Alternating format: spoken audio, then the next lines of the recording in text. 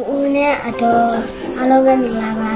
။သမီးနာမည်ကချာလီဖြစ်ပါတယ်။သမီးအသက်10 10နှစ်ထဲဝင်ပါပြီ။သမီးဒီနားလာတာ6လဖြစ်ပါတယ်။ဦးလေးနဲ့အတော်ကို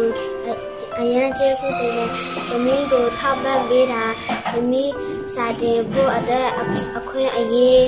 ရတဲ့ဦးလေးနဲ့ အတော်ကိုကျေးဇူးတင်တယ်။မိမိစာကောင်းကောင်းကြိုးစားမယ်။မိမိကြီးလာရင်လူကောင်းတစ်ယောက်ဖြစ်အောင်လုပ်မယ်။ဦးလေးဦးလေးနဲ့အတော်ကိုကျေးဇူးတင်ပါတယ်။ဘုရားသခင်ကောင်းကြီးမြတ်ပါစေ။也许，也许就能温柔去，也许就能飘过去，也许。